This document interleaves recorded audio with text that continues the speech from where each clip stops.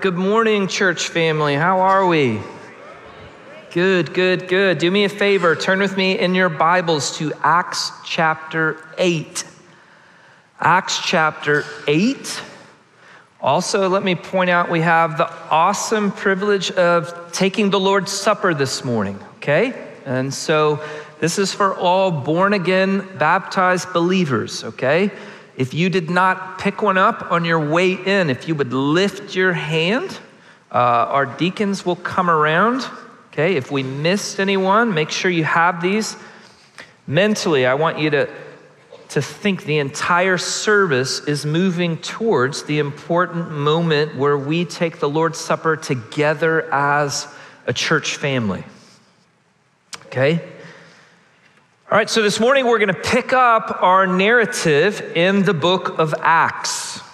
And uh, for seven chapters in the book of Acts, we, we saw the church's witness in Jerusalem, there in the temple courtyard. Then a couple weeks ago, with Stephen's death, we, we saw an intense persecution break out in Jerusalem, and that gospel bubble burst and, and Philip, forced to flee, okay, uh, because of the persecution, went to Samaria. Philip is one of those whose world was turned upside down because of Stephen's death, right? He relocated his family. All that he knows is different as he is now in Samaria, and we find him in the capital city, but the Lord uses him Okay? This displacement, it is used specifically because as he went, they preached the gospel. And suddenly you see a widespread response in Samaria, a revival. And Peter and John come down from Jerusalem to check this out, okay? And specifically to pray, and the Spirit falls upon the Samaritans the same way that he did on the Jews at Pentecost. Now, picture the, the scene. Think, right? Be filled with astonishment. Acts 1 8, and you shall be my witnesses in Jerusalem, in Judea and Samaria. This is exactly what is taking place. The Samaritans, right? Those half breeds. Remember what the Assyrians did all their mixed up false worship. And now the Samaritans are in a large movement of God being saved. Now, in our text today, we're going to see, we're going to go from this widespread revival movement down to one individual.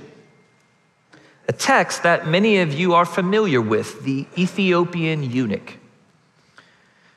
Now, as we read it this morning, as we walk through it, this, this text is magnificent. It's magnificent on so many levels. Oh, that God would allow us to read it and to hear it fresh as if we were reading it for the first time. Would you pray to that end? Because this passage is about the defective, the inadequate, being made whole in Jesus. Right? And on a spiritual level, that is each and every one of us this morning. Think about that as we move towards the Lord's Supper and how King Jesus and his body and blood make us whole. So, listen as I read in our narrative. We're going to pick up in Acts chapter 8, beginning in verse 25. Uh, there's a Bible in the pew rack in front of you if you do not have one. Listen as I read. So when they had solemnly testified and spoken the word of the Lord, they, that's going to be Peter and John, started back to Jerusalem and were preaching the gospel to many villages of the Samaritans. But an angel of the Lord spoke to Philip, saying, Get up and go south to the road that descends from Jerusalem to Gaza. This is a desert road. So he got up and went, and there was an Ethiopian eunuch, a court official of Candace, queen of the Ethiopians. who had come to Jerusalem to worship. And he was returning and sitting in his chariot and was reading the prophet Isaiah. Then the Spirit said to Philip, Go up and join his chariot. And so Philip ran up and heard him reading Isaiah the prophet and said, Do you understand what you are reading? And he said, Well, how could I unless someone guides me? And he invited Philip to come up and to sit with him. Will you pray with me? Our Heavenly Father, as we come and have gathered this morning to worship you, to read your word, to sing your praises, to, to pray your truth, Father, would you quicken our minds and our hearts to understand afresh and anew the fact that you knew each of us from eternity past. And you had a divine appointment in our lives where you saw us and you called us to yourself. May that truth wash over us afresh. May it overwhelm us, your love and your personal detail to leave the 99 and to pursue the one. And that each of us is that one. We pray all of this in Jesus' name. Amen.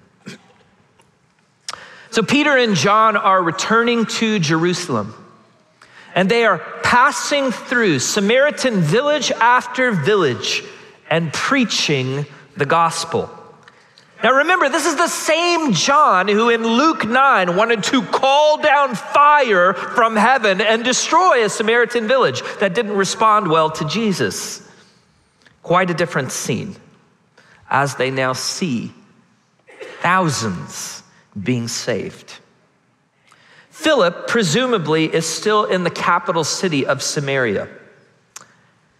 He is in the middle of one of the greatest movements of God ever revival, seeing thousands come to faith. This is Pentecost 2.0. Philip has come a long way from distributing food to disgruntled widows. Now, what faithfulness means is discipling new believers, organizing new churches, and raising up leaders. When suddenly an angel calls him away from it all on a sizable journey to a desert road south of Jerusalem. And frankly, in the middle of nowhere. Okay? Look at this map. You can, you can see that, that they had gone up to Samaria and now down south of Jerusalem, simply on a desert road, there in the middle of Judea. Luke's intentionality to include this story here becomes potent as you read the book of Acts. Because the shepherd who leaves the 99 to go find the one, clearly that is the heartbeat of God, who has a divine appointment for Philip with one on a desert road to nowhere Philip, all through this account, is incredibly sensitive to the leading of the Holy Spirit. Remember where we were last week, right? That, that we are called to continually abide in the Spirit of the Lord. That volume is all the way up for Philip. And he responds with immediate obedience and humility, leaving every pastor's dream, a revival for what? For one lost sheep. Now, who Philip finds on that desert road is utterly fascinating. We're not given a personal name. Instead, we are simply told that he is an Ethiopian eunuch.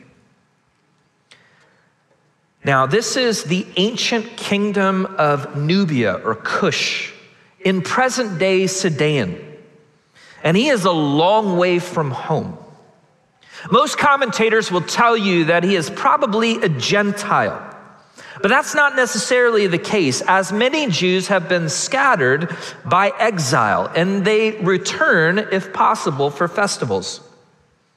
He is a eunuch, meaning he is a castrated male and serves in the court of the Ethiopian queen. Eunuchs were often used in high profile positions around royalty because there is no threat of impropriety. Often, intellectual slaves were made eunuchs specifically for this purpose. Now, the Ethiopian eunuch here has been traveling for more than a thousand miles. he has an entourage, and he is actually very wealthy based on multiple accounts. One, he's traveling in a chariot, okay? That's a pretty wealthy thing. But also, he has his own personal copy of an Isaiah scroll. Very, very, that is a very wealthy item that he has. Luke intends for us to see him as a eunuch and all that entails in regards to Old Testament worship. In fact, look at the text because the title, the eunuch, is used in verse 34, 36, 38, and 39. One time he's called Ethiopian, and five times he's called a eunuch. See, the idea of castrating males is a foreign concept outside of Israel. And in Deuteronomy 23, verse 1, and Leviticus uh, 21, verse 20, states that the eunuch is defective, excluded from temple worship unable to, to participate in sacrificial offerings. Leviticus 21 17. No man who has a defect shall approach to offer God an offering. You can't draw near. In fact, Isaiah 39 7 warned that Israel's sons would be carried off into exile and made eunuchs in the kingdom of Babylon. Consider this man's journey. He's been longing for the one true God in a foreign land. So much so that he's willing to invest time and energy and money to go on a very long, a once in a lifetime pilgrimage to Jerusalem, to the temple and he would stay there for a pretty decent amount of time and observe and watch the major festivals. When he arrives, it is bittersweet. He's a very noticed guest in Jerusalem, being such a high servant of the Ethiopian queen. He has a longing to learn about the festivals and the priesthood and the sacrifices. All of those point him to the one true God. And he's drawn to that. He, he has this yearning in his heart. But he is repeatedly informed that he is defective. On the outside looking in. If he is Jewish, because he is a eunuch, he is not allowed inside any of the temple courtyards, but he must remain outside with the Gentiles. And even if he wanted to become a proselyte, let's say he was a Gentile convert, he has been told that he could never be a full convert. He is deformed, flawed, inadequate. But, but I didn't have a choice in the matter. This was done to me at a young age. It doesn't matter. God's word is clear that his holiness will not allow the imperfect to draw near. Now, don't for a second think that the Jews are just being mean about this, being non inclusive. These are God's commands, his standard of holiness and perfection. Any Levite priest, okay, who had a defect could not enter the temple, could not even go near to the altar. Separate the holy from the common, the clean from the unclean. You see, right here, we are actually at a crossroads in our theology. Most of us are probably a little uncomfortable at the moment. And we need to think sharply about this because the, the category right here is those that have been affected by the fall. They have been singled out as separated from drawing near to a holy God. They cannot participate in the same way in Mosaic temple worship. And largely, this is out of their control. Defective, deformed, flawed, imperfect. The lame, the blind, the dwarfed, those of illegitimate birth. Leviticus 21 refers to eunuchs by accident, those who become a eunuch by an accident. Those in Deuteronomy uh, 23, those by surgery. Now, cultures varied here.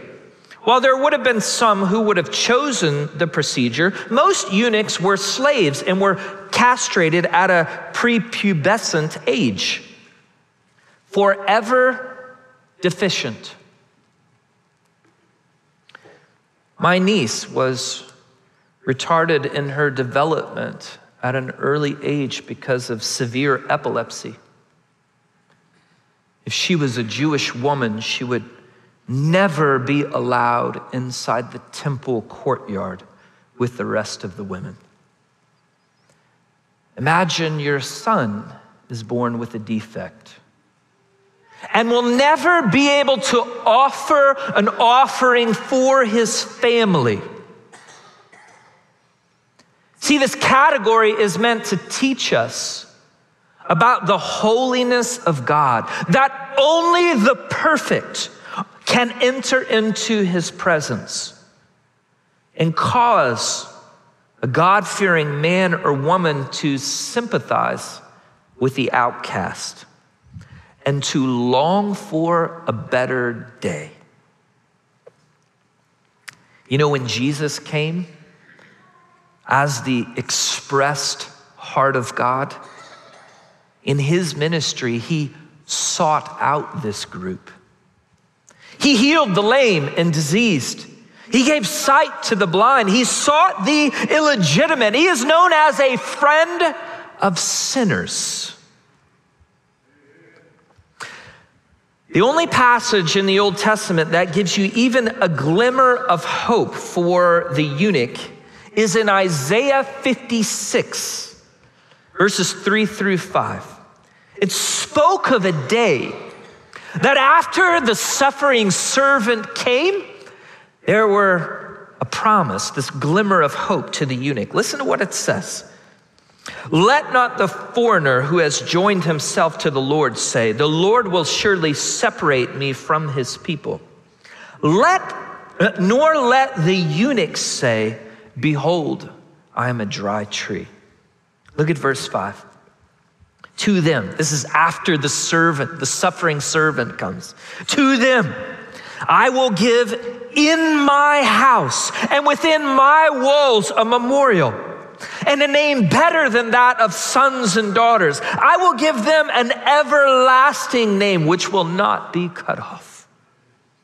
Notice within my walls, an everlasting name to those who have no descendants. And wouldn't you know it? That when the Ethiopian eunuch is leaving Jerusalem, and is beginning to make the journey back home. Wouldn't you know it? He is reading Isaiah 53. The passage, the passage about the suffering servant who will usher in all of these promises. And as was customary in the ancient uh, world, he is reading out loud as he goes. And Philip, led by the Spirit, has the courage to approach the entourage, and speak directly to the high official. Do you understand what you are reading? How can I unless someone guides me? What a statement. If you were in Philip's shoes, could you explain Jesus to him? You see, the standard is amazing that anybody, anywhere, can share and lead another to Jesus. And yet, so few can actually do so. That admonishment is for you, beloved, to roll up your sleeves and get trained. Okay, Chad last Saturday had an incredible training so that you can, can talk and lead another to Jesus. So Philip climbs up in his chariot and begins to explain. Look at verse 35. Then Philip opened his mouth and, be- and beginning from the scriptures, he preached Jesus to him. Now, the scripture passage of Isaiah 53 is absolutely magnificent. Okay? It quickly became uh, one of the most well known passages to the early church. The Jews had long expected that the Messiah would be saving, would be the conquering king, that he would be victorious and triumph. They had no expectation of his suffering. So they didn't know what to do with the suffering servant of Isaiah 53, who is despised, who is forsaken, who is pierced for our transgressions, who is crushed for our iniquities. But the early church knew what to do with it, right? They knew that Jesus' victory was in his sacrificial death for our sins. In John's gospel, this is when Jesus is high and lifted up on the cross.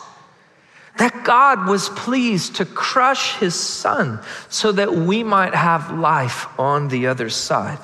This chapter that the Ethiopian eunuch is reading points so clearly to Jesus. But guys, get this, it goes even deeper than that. It goes down to the very words that the, that the eunuch is reading and how they are specifically for him and his life situation because he is reading, and the two verses that are quoted there are Isaiah 53, verses 7 and 8. That's Acts chapter 8, verse 32 and 33. All right, and it says, all right, this is what he was reading. That's Isaiah 53, verses 7 and 8. Now think of everything we've set up this morning in terms of the, of the eunuch being an outcast, being defective, being on the outside looking in. And listen to this. And he was led as a sheep to slaughter. And as a lamb before its shears is silent, so he did not open his mouth. In his humiliation, he was deprived of justice. And who can speak of his descendants? For his life was taken from the earth. You see, here, Jesus, the perfect one, has taken on the imperfections of sin and is silent as a lamb before the slaughter. He is oppressed. He is deprived of justice, and all he receives is humiliation. And he too, like the eunuch, appears to have no descendants and no hope because his life has been taken from him. Can you see how magnificent this is for the eunuch, how perfect it is? And Philip leans over and says to him, Friend, Jesus took upon himself all of our sins and all of our deficiencies and all of our imperfections that keep us from a holy God. His life was taken from him, but he rose in victory. And he now reigns, sitting at the right hand of God the Father. And in him, you, even you, can have eternal life and draw near to God. No longer a defect, no longer tainted, no longer deformed. You mean in Jesus' blood? Even I can come into the full presence of God? Yes. Yes. And right there in the chariot, along a desert road with, with Philip by his side, the Ethiopian eunuch was born again. You see, the application is clear, beloved. Everyone from everywhere, all sins, all defects, all piercings and mutilations, come one, come all to Jesus. Now, think about how beautiful and magnificent this is, right? Right after the Samaritans, okay, those false worshiping half breeds, they get the Holy Spirit. And now, here in God's sovereign act, his hand picking up one to go along a, a, a desert road and preach to the defected eunuch don't you see how God is deliberately trying to show us the full extent of the gospel? It's magnificent. Come one, come all, everyone, everywhere, come. Find your wholeness in King Jesus. Now, maybe they spent hours in that chariot as they went along. Maybe Philip taught him about obedience to baptism as Peter does in Acts 2. Or maybe at this point he, he knew enough that he needed to be identified with Jesus. But he looks out and he sees a body of water. And he asks the question why not right here, right now? As his first act of obedience, he knew he needed to be identified with Jesus. Let me pause and ask you Have you been identified in believer's baptism? Because you know you need to be identified with Jesus. Verse 38 And he ordered the chariot to be stopped, and they both went down into the water. Philip, as well as the eunuch, and he baptized him. Now, catch this. This is magnificent. And when they came up out of the water, the Spirit of the Lord snatched Philip away.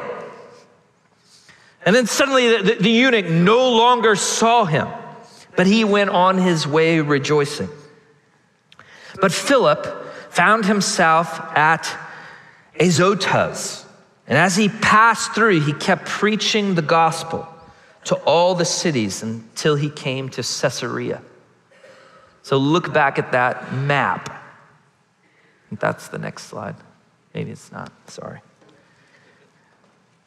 And there is Philip just continuing and, and journeying through, all through Samaria until he gets to Caesarea. Caesarea is where we will find Philip 20 years later in Acts 21. And there he has four prophetess daughters. There he's called Philip the evangelist.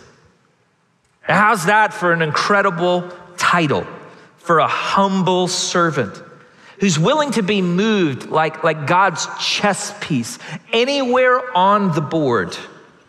Wherever the Lord sees fit. And, and Philip is bold enough to be a witness to anyone that God brings in his path. All those chance meetings throughout each and every day for those sensitive to the Spirit and bold enough to step out in faith and speak. A few years back, I was, I was on a plane from Dallas to Lubbock. I had preached to Disciple Now that weekend in Dallas, and it's a short plane ride, 45 minutes, and my only hope was to uh, curl up in my seat, put my headphones in, listen to some music, and snooze. Well, I, I sat next to a freshman at uh, Texas Tech University. Her name was Lauren. And after some promptings and the conversation, it became obvious that I wasn't getting any snoozing done on this flight. Instead, in that short 45 minute flight, Lauren gave her heart and her life to Jesus Christ and was able to connect her with some churches in Lubbock. A divine moment. Just a couple weeks ago, when the executive pastoral team, we, we were on a flight together. I got to book the seats, and there, there were five of us, and so I, I booked uh, an aisle seat, or, uh, uh, a window seat, and an aisle seat, and a aisle seat and a window seat and left those middle ones and then and then another window seat behind and left those those middle ones open in hopes that like no one would fill those and then we would get all the extra room and well at the very end of the you know you're hopeful as everyone's coming in please don't sit here please don't sit here and at the, at the, very end, as, as you know, you, are thinking, we're doing so well. I'm just going to get to stretch out. Uh, a woman with her two year old son came and they were, they were going to be split. Uh, so Gary and Kindness moved over to the middle seat, in here I'm sitting next to a woman and her young two year old son. She actually doesn't speak a lick of English, not a lick, not even one word. And I know about seven words from high school Spanish. But as it turns out, as the flight went on and uh, her little son climbed up in my lap to look out the window, we developed a, a bond and a friendship. And it, it turns out that she's a Venezuelan refugee who'd been traveling for the last four months, walking the majority of that trip. Is here in the United States for asylum to start a new life. And she had received aid from churches along the way. Her testimony was that the Lord had providentially provided for her stop after stop after stop. And she was, she was flying to Denver with no one that she knew there, just knew that there was a Venezuelan community that was there in hopes of starting a new life. And we found all that out through chat. I didn't know any of that because I didn't know any Spanish. But as we walked through the, the airport, we bought her some food and gave her what little cash we had and prayed over her and followed up over the next several days and connected her with a good church there in the Denver area a divine appointment. You know, they aren't always this dramatic, and they don't have to be on an airplane.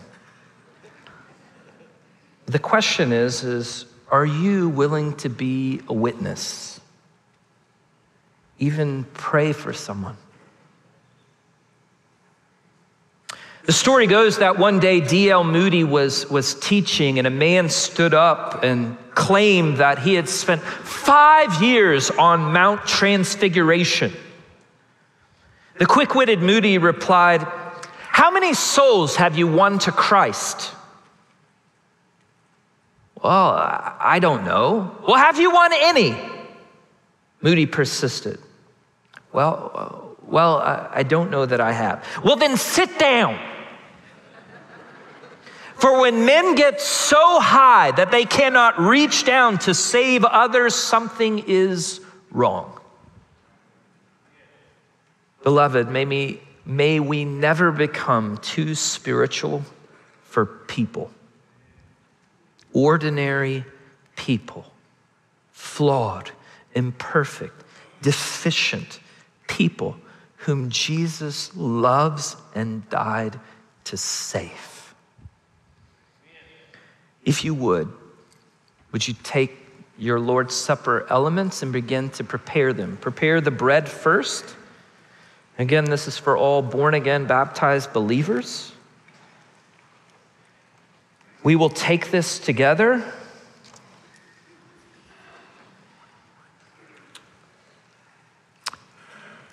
As you think about Christ's broken body,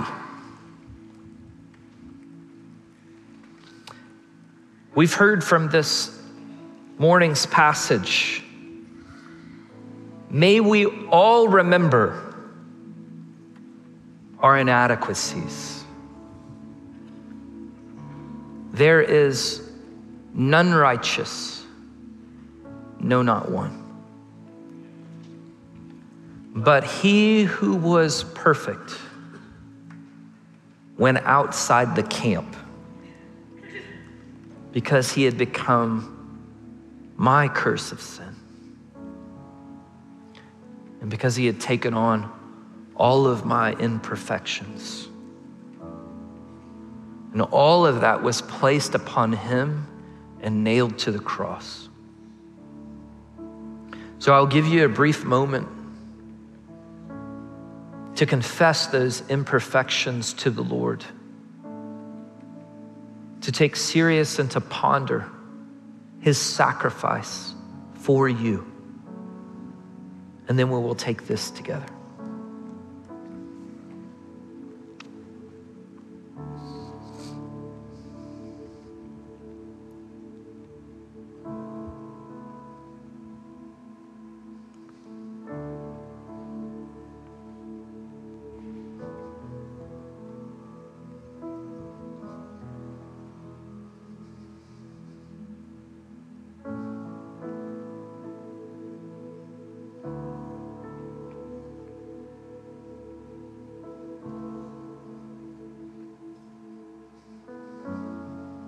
King Jesus, we thank you for your sacrifice.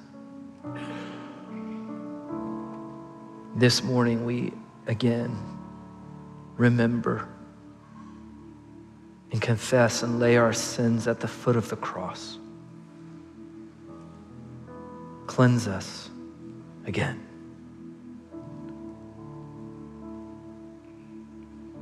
While they were eating, Jesus took some bread and after a blessing, he broke it.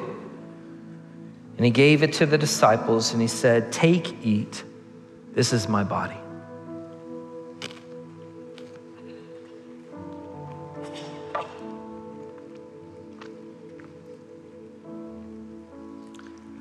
Now, as you prepare the cup,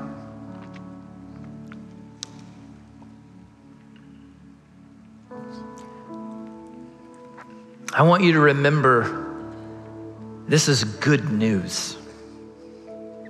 Good news. That is, that Jesus pursued you and found you and did all the work for you. That He is the lifter of your head so that you would realize and find delight in Him. And this good news must be told. It must be told. So I want you to pause and contemplate. Not only is the good news for you, and, and we leave here with the assurance of all that Jesus has done. But would you confess to the Lord your need? To tell others. I'll give you a few moments.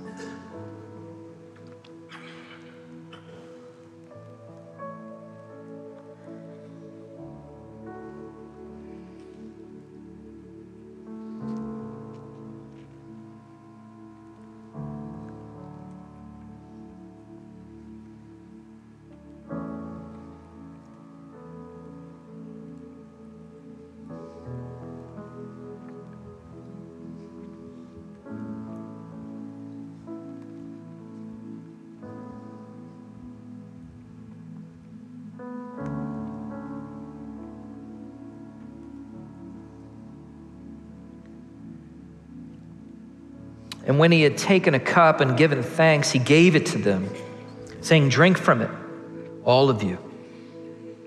For this is my blood of the covenant, which is poured out for many for the forgiveness of sins.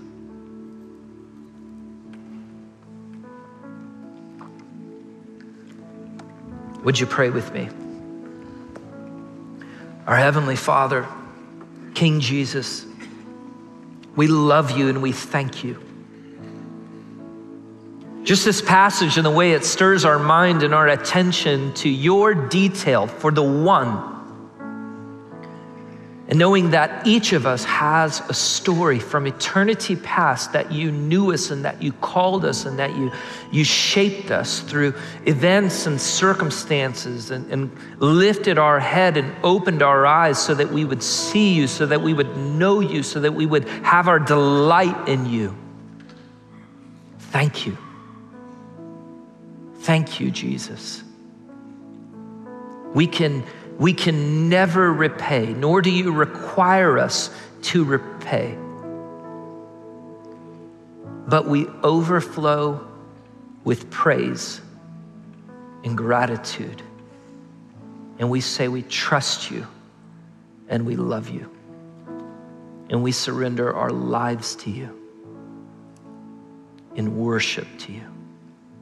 We pray all of this in Jesus' name. Amen.